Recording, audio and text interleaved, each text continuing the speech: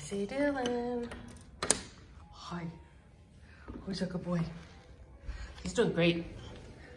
Litter box is good. He's eating. His weight is good. Motorcycle just went by. Was that loud? He just had a couple treats. Oh, he's a good boy. All is well.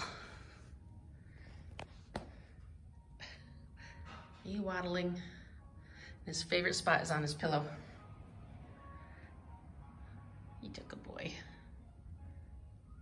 We're just gonna explore a little bit and all the doors are locked. He's safe. Kitty Mail.